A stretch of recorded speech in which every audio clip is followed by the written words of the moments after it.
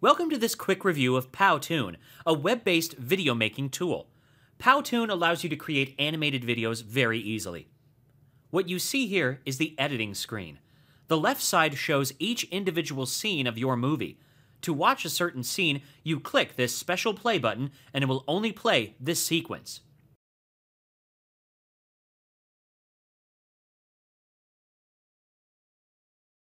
Here you see the elements that I've used in this scene.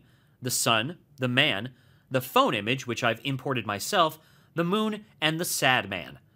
The sad man, for example, comes at the end of this scene.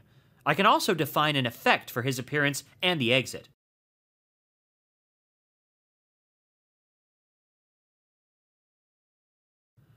There are different sets of cartoons, animated characters, and stock images.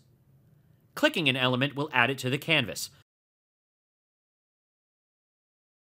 Additionally, you can use this hand effect that gives your video a nice professional touch. All in all, Powtoon is a pretty powerful animation tool that is fun to use. The only downside we see is that there's not a lot of characters right now.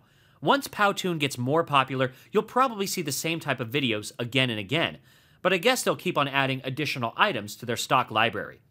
If you want to learn more about the video we created, head on over to websitetooltester.com. There you'll find the step-by-step process that we use to make it.